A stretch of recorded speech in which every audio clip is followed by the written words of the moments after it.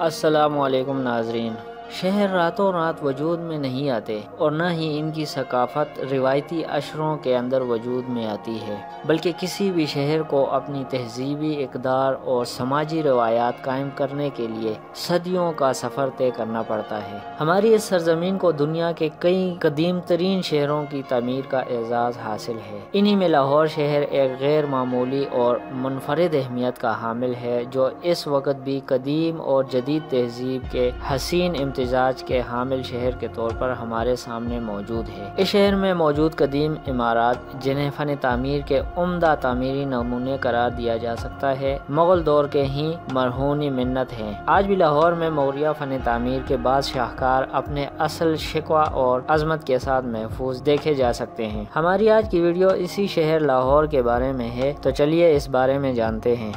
नाजरीन, अगर आपको हमारी वीडियोस पसंद हैं तो आप हमारी हौसला अफजाई के लिए हमारे चैनल को सब्सक्राइब करें और मज़ीद अच्छी वीडियोस के लिए घंटी के बटन को दबाएँ।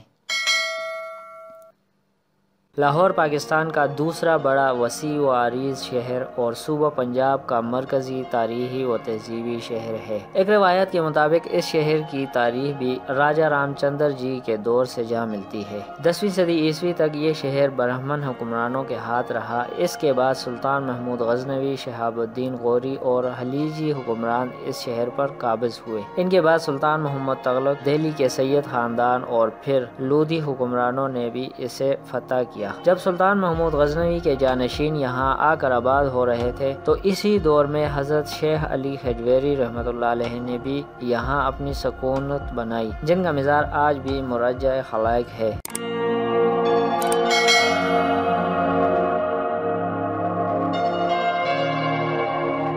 1526 से यहाँ मुग़ल हुक्मरान काबिज हुए। जलालुद्दीन अकबर के दौर में ये शहर मुग़ल हुक्मरानी का दारुल सुल्तानत बना। इसके बाद इसके बेटे जहांगीर ने ये सिलसिला जारी रखा और यही मदफून है। जहांगीर के बेटे शाहजहां ने इसका मज़ार यहाँ तामीर करवाया, जो आज भी दरियाए रावी के किनारे मौजूद है। शाहजहां ने इस शहर को बड़ी तरक्की दी। इसने इस शहर की इमारत और बागात में इजाफा किया। जब सत्रह सौ निन्यानवे में यहाँ रंजीत सिंह का कब्जा हुआ तो सिख हुकूमत दारकूमत बन गया। आखिरकार महाराजा दलीप सिंह ने अठारह सौ उनचास में इकतदार अंग्रेज़ों के सुपुर्द कर दिया। इसके बाद क्याम पाकिस्तान की पहली करारदाद 23 मार्च 1940 को यहीं मुनद हुई और इस तरह ये शहर क्याम पाकिस्तान का बहुत बड़ा मरकज रहा। मुगल दौर के इस्लामी तर्ज तमीर के शाहकारों ने अंग्रेज़ों को मजबूर किया कि वो भी यहाँ ऐसी तमीरत करें जो तारीख का सुनहरी हिस्सा बन जाए। चुनाचे सौ साल कमो बेश इकतदार पंजाब में बरतानवी हुक्मरान हुक्मरानों ने सिर्फ़ लाहौर में तकरीबन पचास इमारतें बनवाई। अंग्रेज़ी तमीरत का आगाज़ अठारह सौ इक्यावन में माल रोड से हुआ और उन्नीस सौ अठतीस में अख्ताम पजीर हुआ था। इन्होंने बुर्ज नुमा गोथक तर्ज तमीर की इमारत बनाई। इन्होंने चौड़ी सड़कें, चौड़े खुले फुटपाथ, घोड़ों और बग्गी के रास्तों के दोनों जानब उमदा किस्म के दरख्त लगाए, जो आज भी माल रोड की शान में इजाफे का बास है।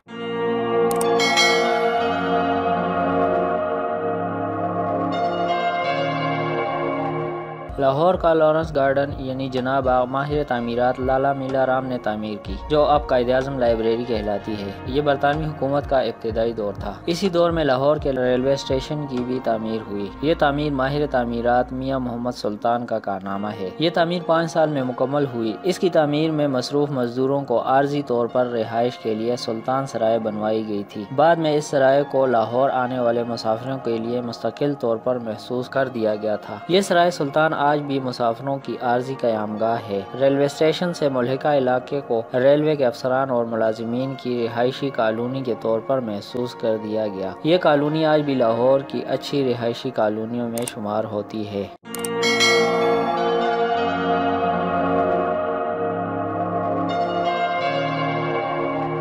गवर्नर हाउस पंजाब भी इस अहद की तमीर है, जो कि सिविल इंजीनियर राय बहादुर कन्याल लाल की जहन निगरानी में एग्जेक्टिव इंजीनियर की हैसियत से हुई। ये इमारत बरतानिया के शाही महल्लात के तर्ज पर तामीर की गई। गवर्नर हाउस के मुलाजमीन के लिए रिहायशी कॉलोनी भी बनाई गई। इसमें रिहायशी इमारतें, दरबार हाल दफातर, मालहाने, अस्तबल आउट हाउसेज झील, सरसब्ज, लान मसनू पहाड़ी और इस पर बलखाती सीढ़ियाँ बनाई गई। ज़िंदगी की दीगर सहूलियात की फरहमी की नुकता नज़र से इस इमारत को हर लिहाज से मुकम्मल बनाया गया। ये शानदार इमारत अपनी तर्ज का बेहद मुनफरद शाहकार है, जो आज भी मौजूद है। न्यू कॉलेज की इमारत जो बाद में पंजाब यूनिवर्सिटी कहलाई और अब ओल्ड कैंपस के नाम से मशहूर है, इसकी तमीर अठारह से अठारह के दौरान मुकम्मल हुई। इस इमारत में एक फीट लंबे टावर और एक फीट लंबा क्लाक टावर है। इस पूरे कम्प्लेक्स पर तीन लाख बीस हज़ार रुपए लागत आई।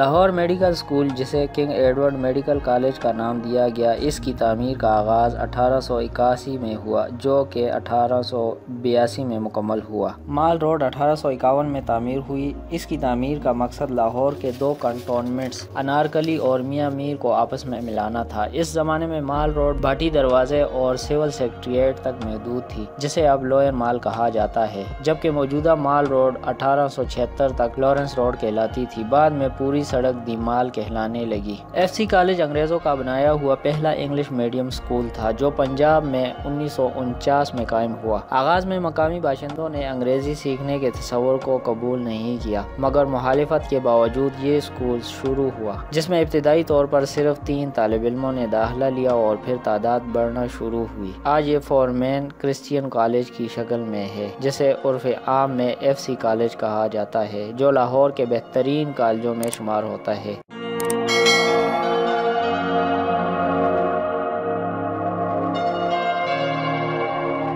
गवर्नमेंट कॉलेज लाहौर का क्याम अठारह में हुआ, जिसके पहले प्रिंसिपल लंदन यूनिवर्सिटी के डॉक्टर लाइटन्स थे। गवर्नमेंट कॉलेज को कैम्ब्रिज, ऑक्सफोर्ड और लंदन यूनिवर्सिटी के तर्ज पर तामीर किया गया है, और इसका ये तासर अब भी कायम है। गवर्नमेंट कॉलेज लाहौर की मौजूदा इमारत अठारह में मुकम्मल हुई। इसके अलावा एचिसन कॉलेज, वेटरनरी कॉलेज और हस्पताल और डिंटर कॉलेज और हस्पताल जैसी नुमाया इमारत के अलावा अंग्रेज़ी तर्ज तमीर का शाहकार, दीगर इमारतें तफरी मकाम रिहायशी स्कीमें स्कूल और गिरजाघर इस दौर की अपनी पहचान हैं।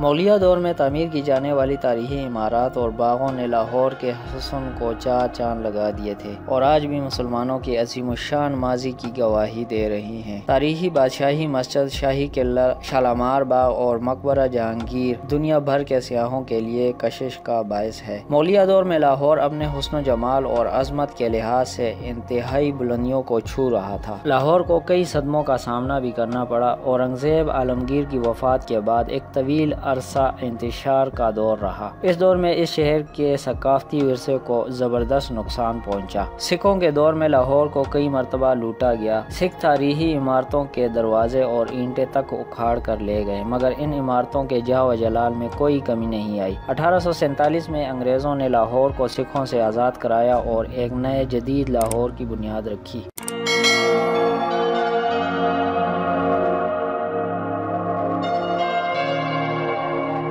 लाहौरियों के खाने पीने के शौक के साथ साथ खेल कूद में भी नुमाया दिलचस्पी रही है। लाहौर के महसूस और रिवायती खाने पुराने लाहौर ही में मिलते हैं। ये आज भी इतने मकबूल हैं जितने पहले थे। मेले ठेले लाहौर की शनात हैं। हज़रत मियाँ मीर, हज़रत दाता गंजबश रहमत हज़रत मादू लाल हुसैन, हज़रत शाह अनायत कादरी, हज़रत मौज दरिया बुहारी, हज़रत बीबी पाक दामन और हज़रत पीर कुली शरीफ समेत लाहौर में दर्जनों अलिया कराम और बुजुर्गान दीन के मज़ारात हैं। इन मज़ारों पर होने वाले उर्स और तकरीबा लाहौर के कल्चर का लाजम हिस्सा हैं। न सिर्फ़ लाहौर, बल्कि पूरे पंजाब और दूर दराज इलाकों से अकीदतमंद यहाँ आते हैं।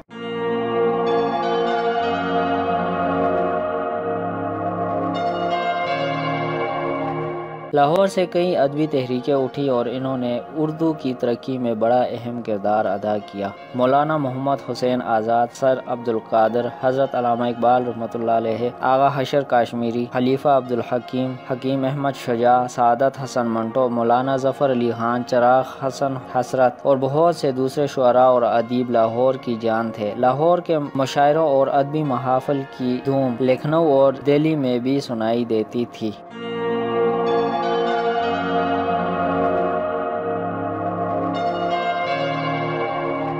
कदीम लाहौर और जदीद लाहौर की तर्ज तमीर में भी ज़मीन आसमान का फ़र्क है। जदीद लाहौर यूरोपियन स्टाइल में तैयार किया जा रहा है और जो बस्तियाँ आबाद की जा रही हैं, इनमें गलियाँ नहीं हैं, जबकि गलियाँ हमारे मशरकी कल्चर का लाजमी जज्व हैं। नई तर्ज तमीर में गलियों का तस्वर ख़त्म होने के बाद नई नस्ल के लिए ये मुमकिन ही नहीं कि वो गली और इसके कल्चर का तस्वर कर सकें।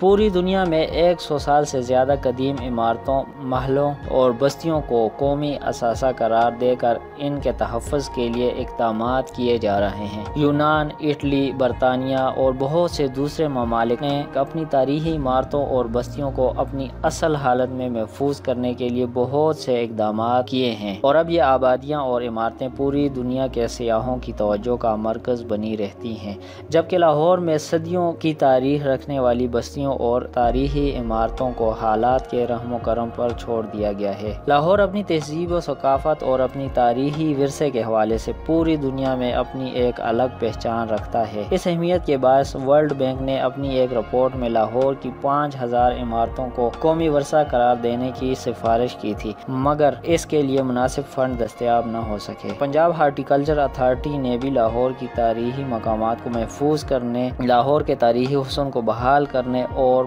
पार्कों का मैार बेहतर बनाने के लिए कई एक इकदाम किए हैं।